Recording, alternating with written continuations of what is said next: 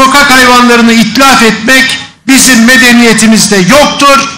Bu batı medeniyetinin bir tercihidir. Bize medeni ülkeler bu işi çoktan bitirdi. Biz de uyutalım geçelim demesin. Sadece sokak hayvanlarına değil, tüm canlılara gösterdikleri duyarsızlık nedeniyle şimdiki kuşakları sorgulayacaktır hiç kuşkunuz olmasın. Biz bu bilinçle ne uyuturuz ne uyuruz.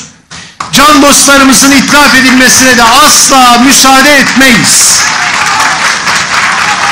Değerli dostlar, biz doğaya kuru bir merhamet değil, bir adalet borçluyuz.